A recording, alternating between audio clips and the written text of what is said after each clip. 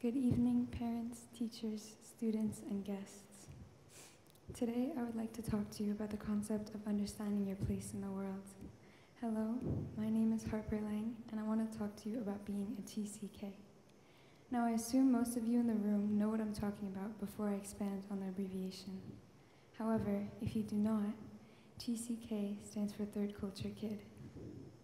Me, us, a lot of us actually.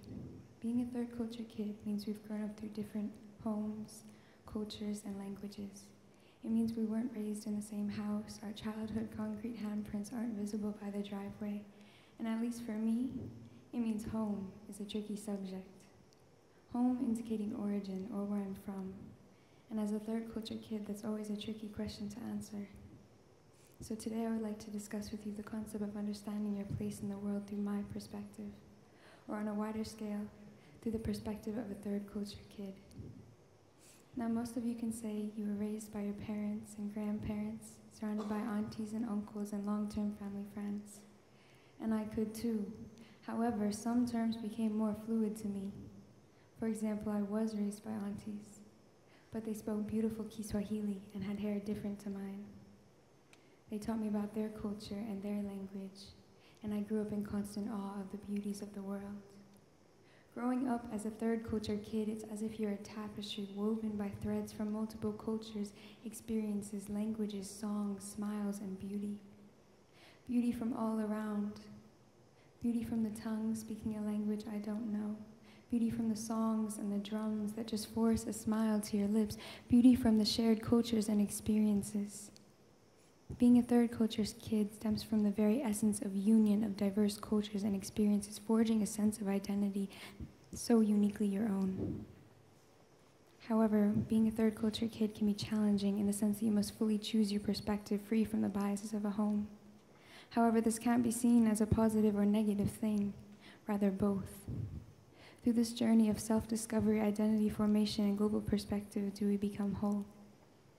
Your journey begins with your parents, their origin, and where they claim home? Do you claim their culture, or do you claim the cultures you swallowed through experience? Or rather, which culture claims you in the sense that we cannot choose where we feel at home? We cannot dictate where our mind and body feels at rest. We must simply let our body guide us to the correct answer, which admittedly is hard. The roads are many, and you are one. Personally, I've learned to embrace the multiple cultures within me and that I do not belong nor have to belong to one place. I've always found it difficult to understand my place in the world when the question, Where are you from? has me dumbstruck. Because I simply do not have an applicable answer. Do I say where I was born, even though I only lived there for months? Do I say where my passport says I'm from, even though I've never lived there? Every time I'm burdened with this question, I'm forced to answer with a confusing and contradicting sentence that usually follows. Technically, I'm from the US, but I've grown up overseas. However, the term overseas doesn't let me express how I learned to swim in the Indian Oceans of Dar es Salaam, or how I marched the streets of Kinshasa, Congo, or how my arms have grown strong from mixing shima with my aunties over the years. So I ponder how can I understand my place in the world when I don't know where I'm from? Because I'm not from the, the borders of Mexico and Texas, I'm not from the colors on a flag, and I'm not from the chorus of a national anthem. I'm from the scrapes on my knees from climbing a baobab tree. I'm from the sun on my skin as I watch baby turtles hatch and sprint from the water. I'm from hearing an avocado fall from a tree and racing to reach it. I'm from my Congolese driver teaching me how to make shima. I'm from beautiful Arabic women staining henna all over my arms. Through this, I believe I know where I'm from. I draw strength from the mosaic of my experiences, forming a sense of identity and understanding that transcends borders of countries and challenges where I appear to be from. Growing up as a third culture kid has let me cross bridges through cultures and experience things that have altered my perspective so entirely.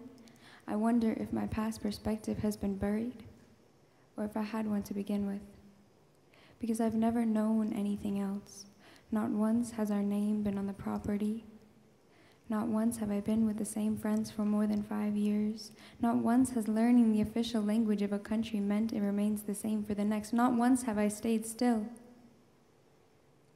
However, I think I prefer this in the sense that I am the world moving around rather than the world moving around and without me. I'm able to indulge and experience rich cultures and diversities, bearing with me the capability to comprehend them fully.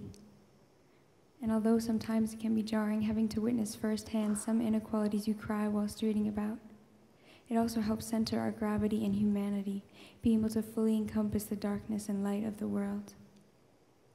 I have to see uncles and aunties ripped from their homes due to corrupt government issues, and I'm forced to sit back and do almost nothing and I'm never somewhere long enough to see the end of an issue. This itself is another issue. The constant cycle of moving can cause feelings of rootlessness to surface, as if I belong everywhere but nowhere at the same time.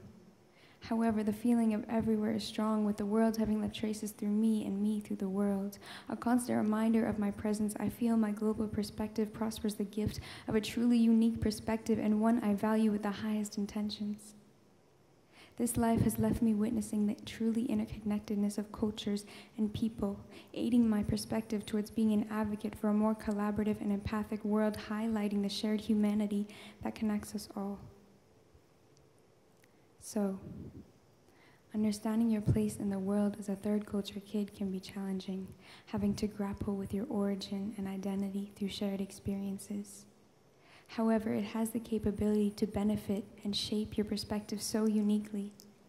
So I implore you not to limit yourself to a place in the world. Whether you're a third culture kid or not, we all have the capability to have a fully rounded and worldly perspective.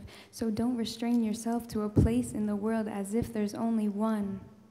Just because you look good in blue doesn't mean you won't look good in red. So whether you're a third culture kid or not, I implore you to embrace the full color wheel. A rainbow is only truly beautiful when all colors can be seen. Thank you.